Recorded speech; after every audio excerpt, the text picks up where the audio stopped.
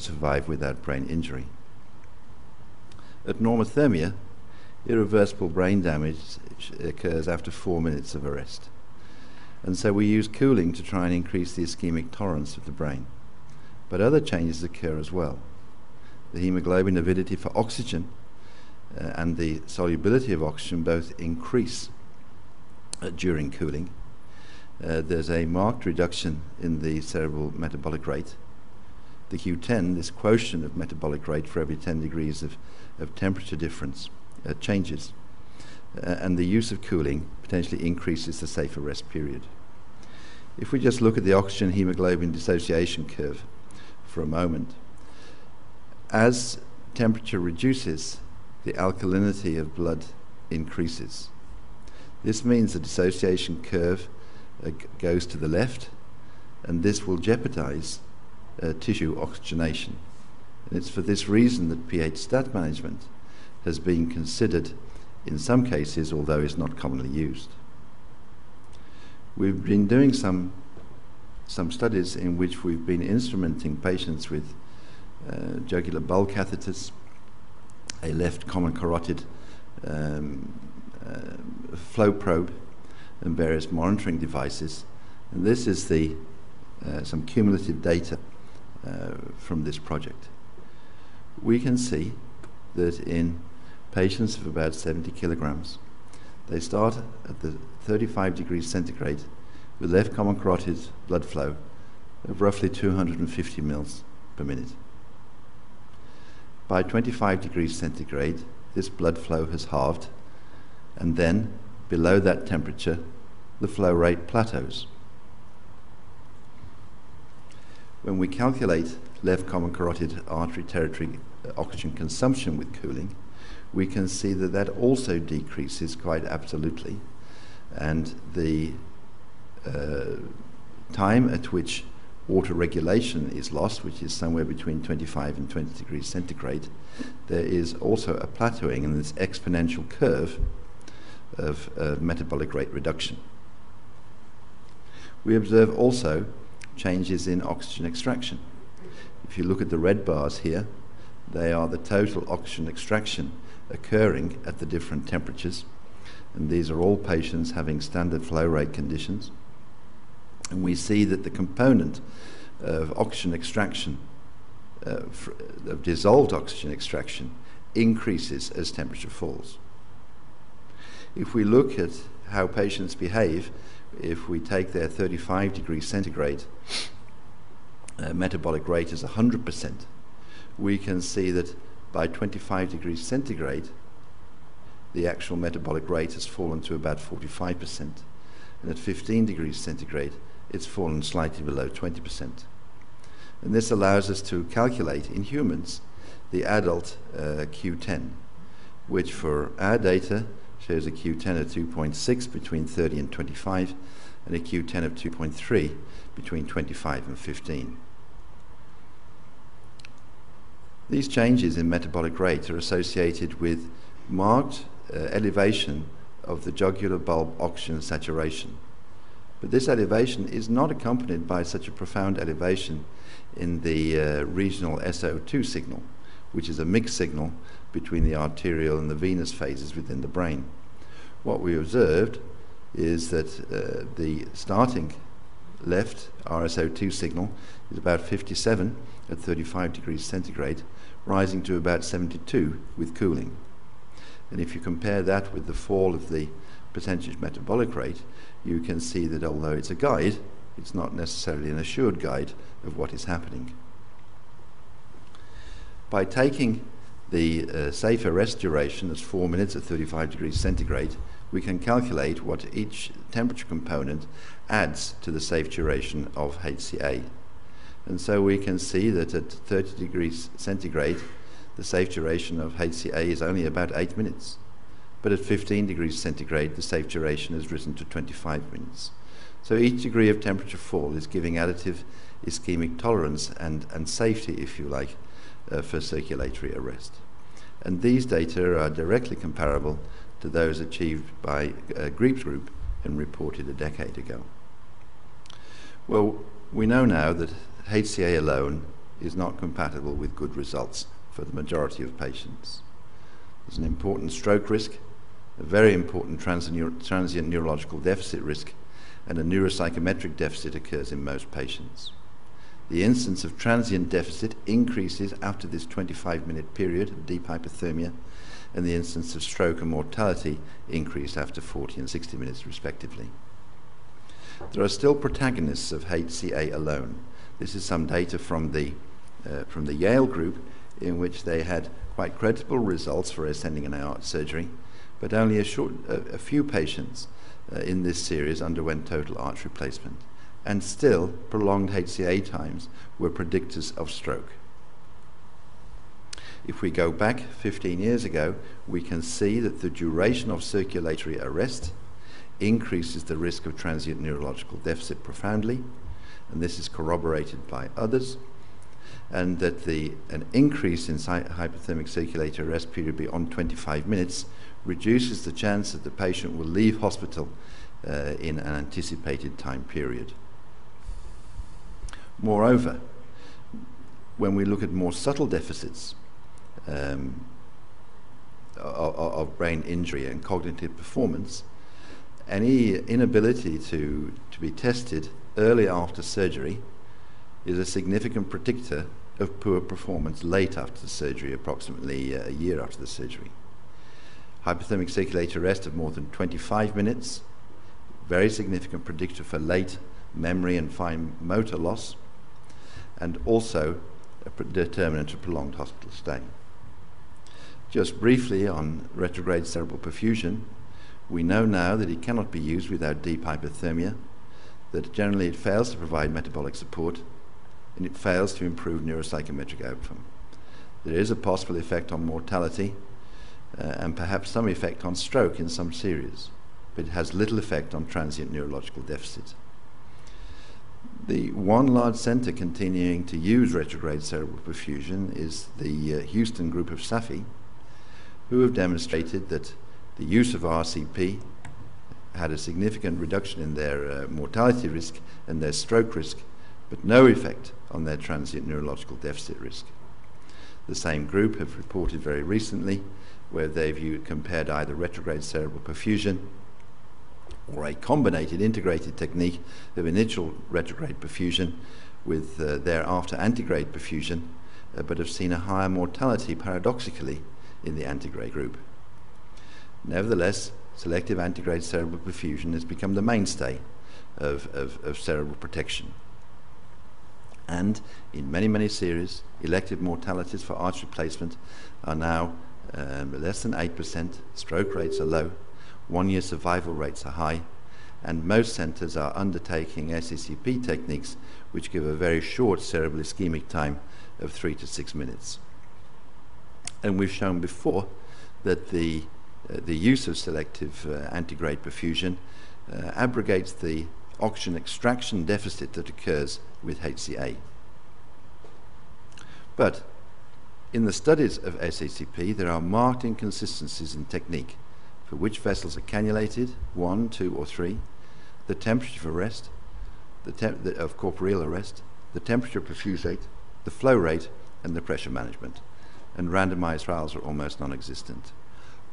the Griepp technique uh, has changed over the years, all to try and reduce the stroke rate associated with arch replacement. And they've moved from techniques which were dominantly uh, using HCA to where they then grafted the head and neck vessels to shorten that period and a further triple branch technique to reduce it further.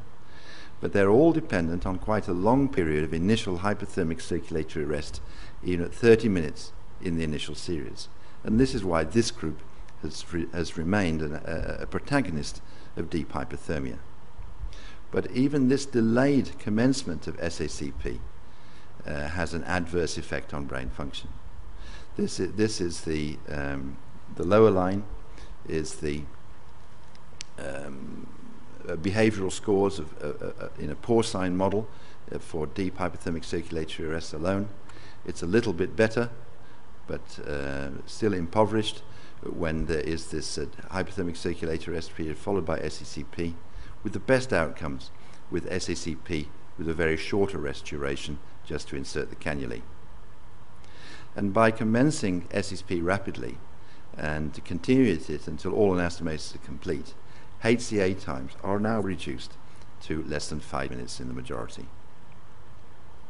But there are some clinical differences with different SACP, SACP temperatures. Two years ago, Minatoya et al. published in the Annals of Thoracic Surgery comparative groups, albeit by different eras, when they instituted SACP at 20, 25, and 28 degrees centigrade. The important difference is that at 28 degrees centigrade, they used a higher perfusion flow rate and added in left subclavian artery perfusion. The 20 degrees centigrade group was somewhat disadvantaged as they had longer SACP and corporeal arrest periods, but the mortality were not different.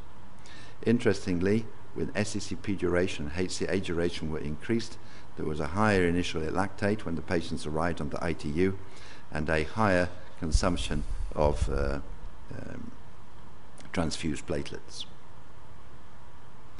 Other groups have also compared um, higher and lower uh, corporeal arrest temperatures.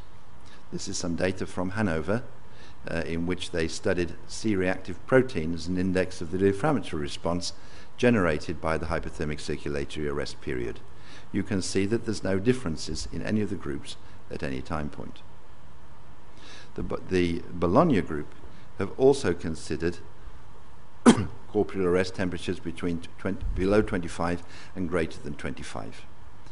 They've seen similar mortality between the groups, a uh, not different uh, permanent neurological deficit rate, a slightly higher, but not statistically so, transient neurological deficit rate in the higher temperature group, similar pulmonary complications, similar renal failure, and similar bleeding. When we go back to the Hanover data, there is a concern between the deep hypothermia and the moderate hypothermia groups. There are two striking differences. One is the rate of reoperation for bleeding with deep hypothermia. Sorry, how can I go back? Previous. Uh, with deep hypothermia. But the other significant effect was with, with warmer temperature, the paraplegia rate appeared to increase. This, to an extent, is corroborated from uh, some data from ourselves, which, although we've seen no differences in in, in, in, stroke mortality or other parameters, we have seen a difference in the change of uh, serum creatinine between days 1 and 7 between warmer and colder patients. Experimentally, the perfusate temperature of the SACP may also be important. Be this is behavioral score data again from a porcine model from uh, Dr. Griepp's group, which showed that lower SACP temperature at 10 degrees centigrade was associated with better behavioral scores in this study group. They wondered whether this was related to less lower cerebral blood flow and less emboli, although the Hanover group have shown clinically that the SACP is associated with a very small number of, of cerebral emboli, whether it was related to cerebral, reduced cerebral oxygen consumption um, uh, during the arrest period and le less met metabolic demand and less uh, potential for ischemic injury, and a lower cerebral blood flow rebound that can occur after the uh, restitution of corporeal flow. Further data in a similar model uh, has looked at the two SACP temperatures with the constant perfusion pressure now at 30 and 25 degrees centigrade. We can see that at cooling there is this profound fall in total cerebral blood flow, and then we increase it with our 10 mil per kilogram um, flow rates for SACP. We see that the vascular resistance rises during cooling but falls during the SAC period, and that the cerebral metabolic rate again is much lower in the hatch bars with the uh, lower temperature SACP group. And this lower blood flow, which has potentially protective effects, is seen in all the different areas of the brain. Clinically, warmer SACP shortens operative times. This is data uh, from Salazar, published last year, where they compared 18 degrees centigrade SACP with 25 degrees centigrade SACP. And, and in the um, 18 degree, sorry, the 25 degree temperature uh, group, they saw shorter cooling and rewarming periods, as you'd expect, but higher serum lactate generation, potentially an adverse clinical effect. When the uh, group of Johnson uh, et, et, al. looked at microdialysis uh, in a, in a uh, experimental model, they saw higher brain tissue lactate generation with higher SACP temperatures.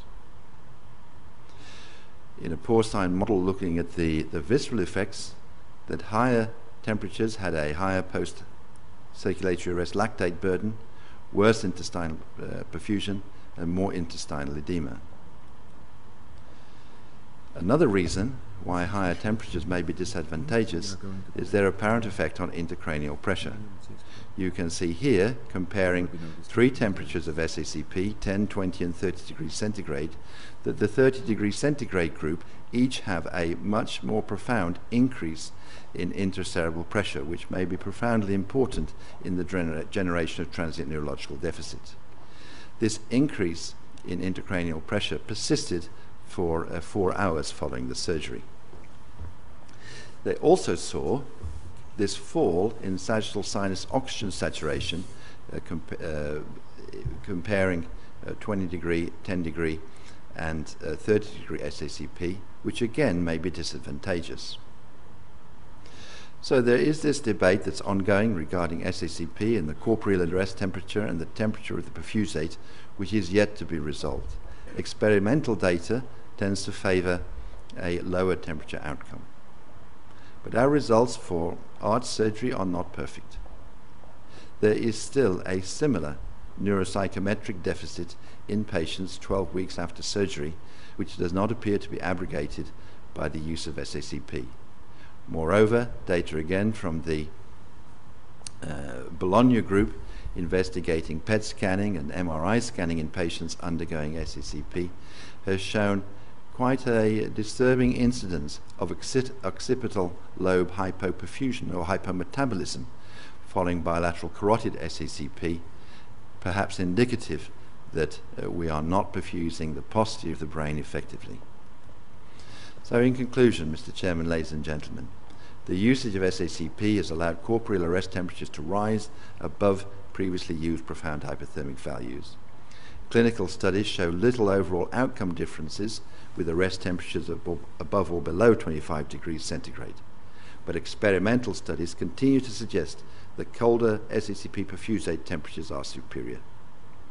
Clinical and experimental studies in prolonged corporeal arrest periods suggest concern with warmer temperatures, including spinal cord protection, uh, which I'm sure we'll hear more about later. But even with SACP, brain protection remains inadequate. This may relate to intracranial pressure changes, the number of vessels perfused, and the temperature effect may uh, be having less importance now uh, when we consider SACP alone. Uh, thank you for your attention. Thank you very much, Dr. Munzer. Great overview. And there's still many questions, I think, yeah. open questions. And the interesting thing is everybody's doing it different. It's our impression, too. I have one question for you. What about your cerebral monitoring? How do you guide your, your pump technician? Um, what do you use? Use infrared spectroscopy or whatever? Okay. Um, the data that uh, I presented is some data from patients in a, a randomized trial, so they have very strict uh, monitoring and they're all handled in a very similar way apart from the, um, the interventional variable. In patients outside of those studies, uh, we have um, a cooling temperature 22 with an SACP temperature of 22, so similar perfusate and corporeal arrest temperatures uh, that we do strive for a 10 ml per kilogram flow rate, but we do nothing to adjust the pressure. So we don't increase flow rate to increase the pressure. We just accept the pressure delivered by a 10 mil per kilogram flow. Okay, questions from the floor? For time reasons, maybe one or two, maybe. Sir, please. Can you, can you come to the, to the mic, please?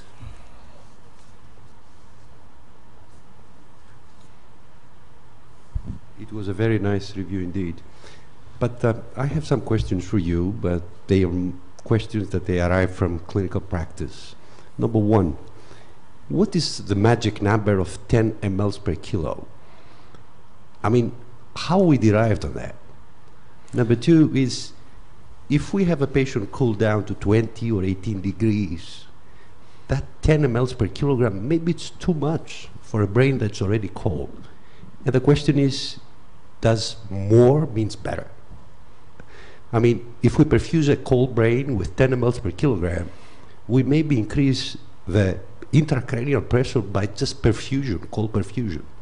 So I'm ambivalent about everything. If I perfuse a small guy with 10 mLs per kilogram, that he's cold at 18, I'm pretty sure I'm going to blow his brain off. Okay. The, the 10 mil per kilogram uh, originates from the normothermic brain blood flow. And Kazui took 10 mils per kilogram as his starting point for his SACP at a lower temperature. We see from the studies that the actual brain blood flow, as you, let's say you've cooled the patient to 20, is substantially less than 10 mils per kilogram. But nevertheless, we use this tool. And I would agree with you that we don't know enough about the flow rate versus the pressure versus the oxygen delivery uh, in SACP to give a, a, definite answer to your question. There's no doubt, experimentally, and I didn't go into that, that, that higher pressures experimentally in SACP are deleterious to the brain. Uh, and and uh, this, this is why we do not strive to manipulate pressure uh, during, during our clinical practice. I think your question about a small patient versus a large patient is perhaps a little erroneous because it is a weight indexed uh, flow rate. And so they are both, according to their body weight, getting a similar index.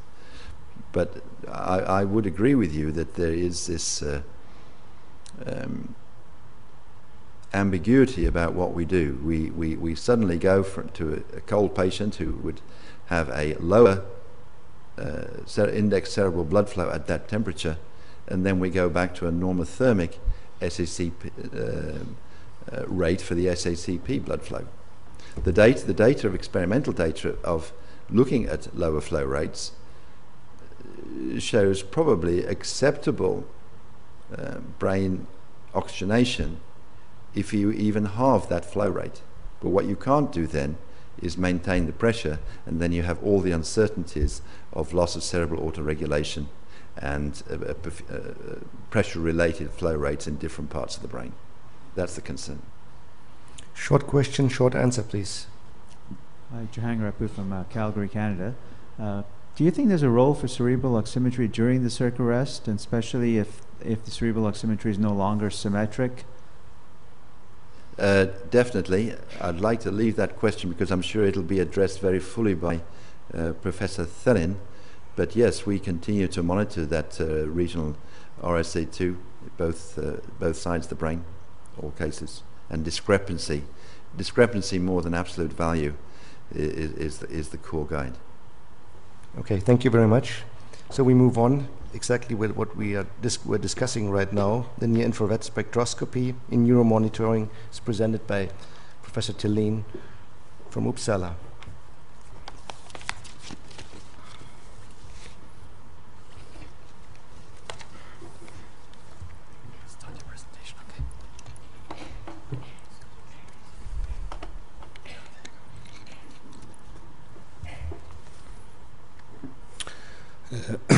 Chairman and delegates. Uh, first, I would like to thank the uh, Association for the invitation to give this lecture, lecture, on the utility of near infrared spectroscopy in NIRS. I have no disclosures, and my research work in this field has been funded by grants from the Swedish Heart Lung Foundation. In this lecture, I will briefly give you the historical and physical background to NIRS. I will give you an overview over its use in cardiovascular surgery today, and finally, I will uh, speculate about its use in the treatment of thoracoabdominal surgeries, aneurysms. Uh, some of the most important scientific contributions in this field were made in the 18th and 19th centuries. Pierre Bouguer was a multidisciplinary French scientist with his main interest in naval architecture, studying problems like the masting of ships and the deviation of the compass at sea. But in 1700, 1729 he published Essai d'optique sur la gradation de la lumière, which determines the quantity of light lost by passing through a given extent of the atmosphere. This made him the first known discoverer of what was later named the Beer-Lambert law. Johann Heinrich Lambert was a Swiss mathematician, physicist, and astronomer. And as a mathematician, he worked with, uh, it, he introduced hyperbolic func- functions into trigonometry, and he also worked with properties of projections. Of projections. In 1760, he published a book, Photometria, where he presented the law of light absorption, the Beer Lambert law. And finally, August Beer, and I could not find a photo in the internet. It was a bit surprising. Uh, he was a German physicist and mathematician living about 100 years ago, and he finalized this Beer-Lambert law, which is applied to all light, including the near-infrared light with a wavelength of 700 to 1400 nanometers. The Beer-Lambert law relates the decrement in transmitted uh, light intensity to the absorption properties of the material and the distance the light travels through this material. NIRS is a method uh, to measure regional oxygenation saturation, RSO2, of tissue hemoglobin by determining the difference in intensity between the transmitted and received near infrared light according to the mentioned Beer Lambert law.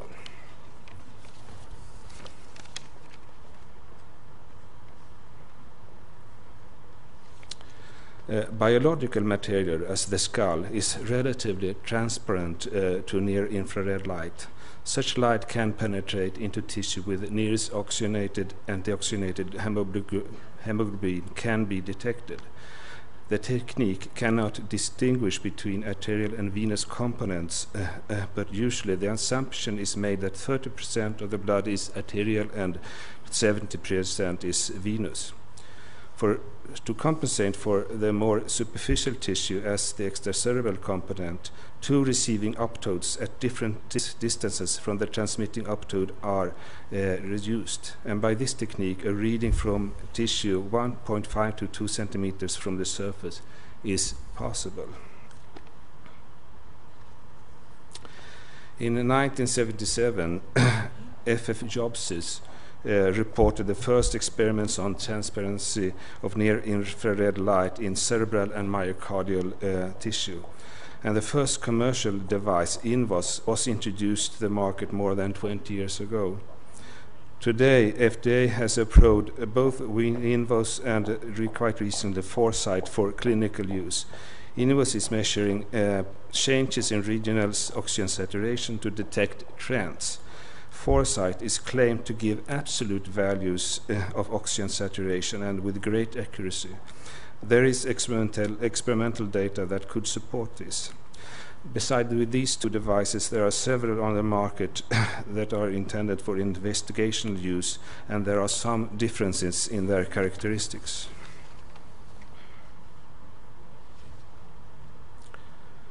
There are several confounding factors to consider in the use of NIRS. Extracerebral tissue is estimated to contribute about 15% of their cerebral regional oxygen saturation reading, with the remaining 85% coming from the brain.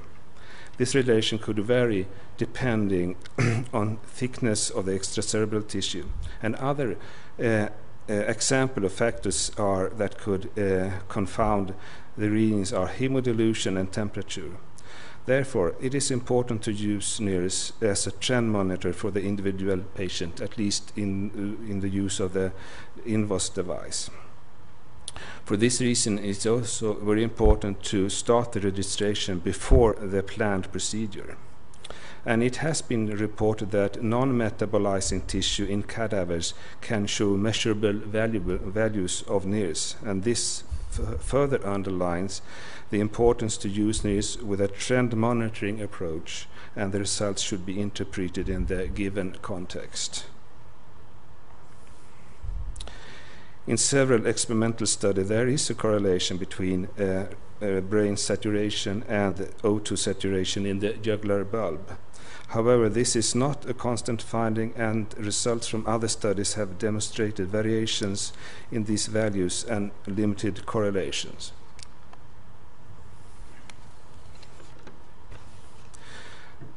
Monitoring NIRS with, the, with NIRS during hypothermic arrest with or without cerebral perfusion is today widely used.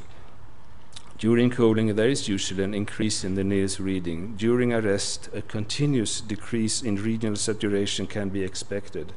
The degree of this decrease is dependent on temperature and length of arrest, and there are no exact recommendations in the literature for cutoff values under these conditions, but the decrease can be quite extensive a mathematical model to determine the rate of decrease under different conditions have recently been presented by the Mount Sinai group from New York, and the practical use of this model has to be evaluated. During bilateral uh, antegrade cerebral perfusion, usually only small changes are registered compared to pre-arrest uh, values.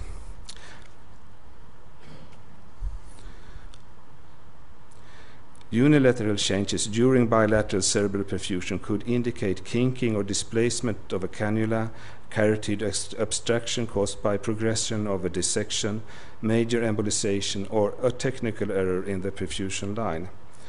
In some clinics, uh, unilateral uh, antegrade perfusion is used, and uh, the results are reported to be good.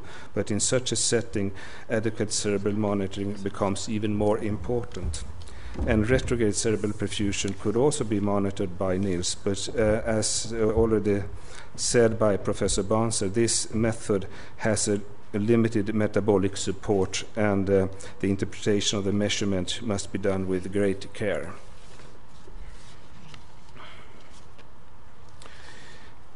Today, there are several studies demonstrating correlation between perioperative uh, brain saturation and postoperative cognitive dysfunction, uh, cerebrovascular accidents, uh, prolonged hospital stay, morbidity, and mortality. Murkin performed a randomized blinded study with 200 patients undergoing coronary surgery. And the treatment of a decreasing saturation was associated with a shortening of the ICU stay and a significantly reduced incidence of major morbidity and mortality. Denault and Murkin have presented an algorithm in the use of brain oximetry. It proposes a systematic analysis and measures to be taken in the case of declining saturation. It has been proven to be effective uh, both during major abdominal and during coronary surgery. The effectiveness of measures taken to correct a decrease in uh, saturation was demonstrated in a study by Murkin on patients undergoing coronary surgery. And the most common interventions were to raise the pump flow or uh, the arterial pressure. There are several studies on the use of NIRS during carotid endarterectomy. Mille found that a decrease of 12% in NIRS was an indication for the use of a shunt, and other studies have confirmed that cutoff values uh, of decreases between 10 and 20% are of importance.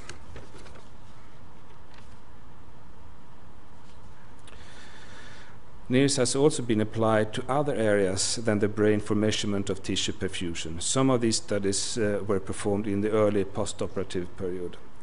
And NIRS in the lower extremities could be used for detecting compartment syndrome, to identify malperfusion after dissection, and for monitoring distal perfusion during CPB with femoral artery cannulation. It could also be used during volume resuscitation after trauma and hypovolemic shock.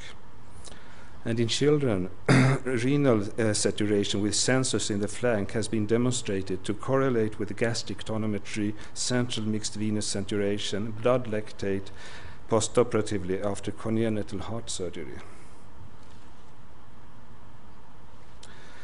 And in an animal study with large pigs, it was shown that NIRS could detect spinal ischemia produced by sequential intercostal uh, artery ligation. And there is a case report uh, uh reporting a, a case uh, where a correlation was found between NIRS in the lumbar spine area and changes in the CSF drainage in a patient undergoing endovascular treatment of the aorta.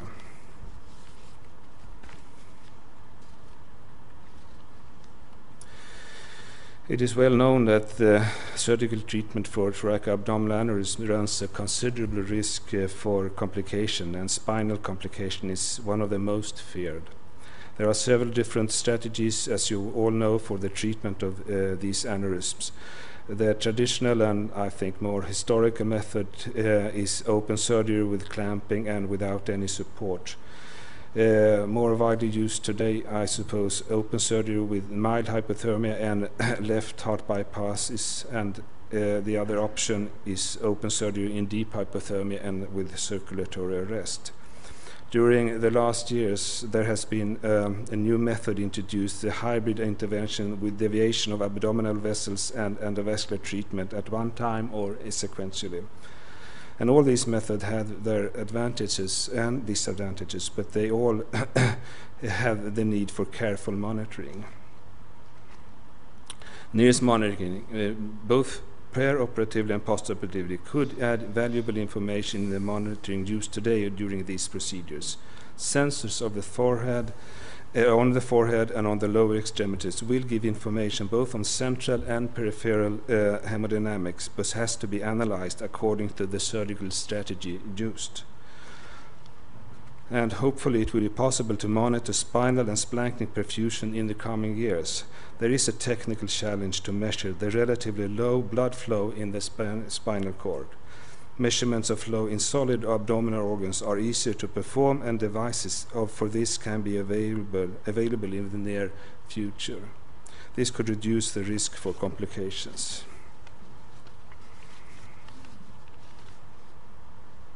To conclude, NOSE is, NIRS is a user-friendly technique for non-invasive and continuous monitoring of perfusion.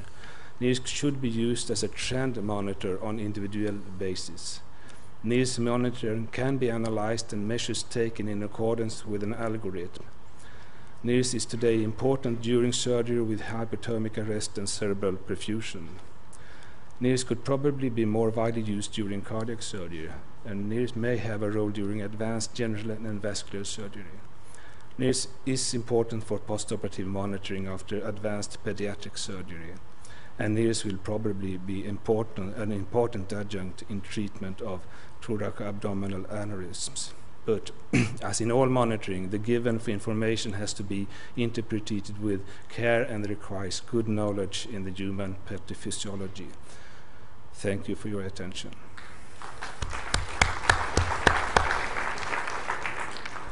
Thank you very much for this nice presentation. Paper is open for discussion.